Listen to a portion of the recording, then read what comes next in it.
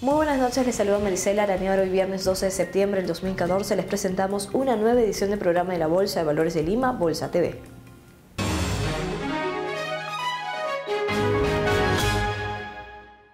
Al finalizar la semana, los índices de la Bolsa de Valores de Lima cerraron en terreno negativo. El índice general de la bolsa local cerró con una pérdida de 0.88%, cerrando en 16.925,71 puntos. El índice selectivo descendió en 0.74%, cerrando en 23.478,93 puntos, mientras que el índice nacional de capitalización, el INCA, disminuyó en 0.67%, cerrando en 90,72 puntos. Finalmente, el índice de buen gobierno corporativo bajó un 0.46%, cerrando en 147,98 puntos. A continuación, las acciones que presentaron mayores alzas, ellas por las que sufrieron un mayor ascenso.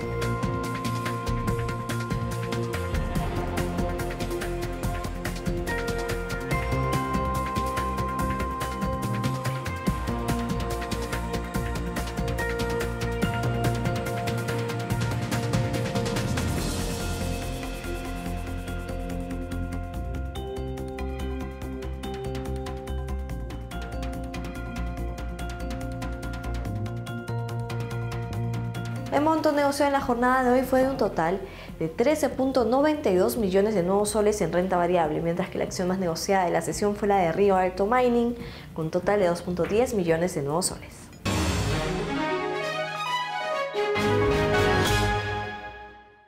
Los índices de la Bolsa de Valores de Lima presentaron resultados negativos en su rendimiento durante las semanas, así que el índice general de la bolsa local cerró con una pérdida de 1.76%. Por su parte, el índice selectivo cayó en 2.04%, mientras que el índice nacional de capitalización, el INCA, bajó en 0.93% y finalmente el índice de buen gobierno corporativo perdió en terreno en 1.54%.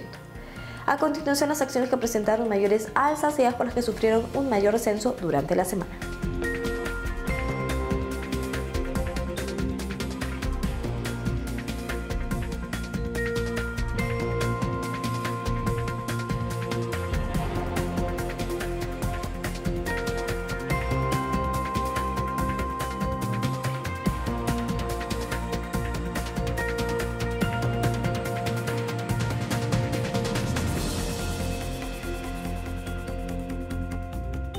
Por último, las acciones que tuvieron mayor volumen de negociación en la semana fueron las de Atacocha, con total de 54.592.090 nuevos soles.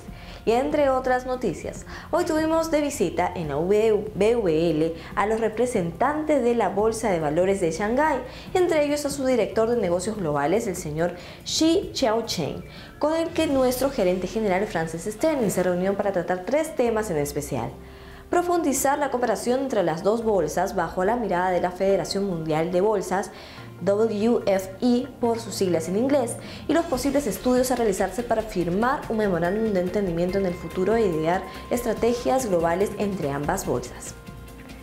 Bueno, eso es todo por hoy. Agradecemos al Grupo Coril y Sociedad Agente de Bolsa por la información brindada en esta edición de Bolsa TV. Si desean tener mayor información, la encuentran en la página web de la Bolsa de Valores de Lima en www.bwl.com.pe.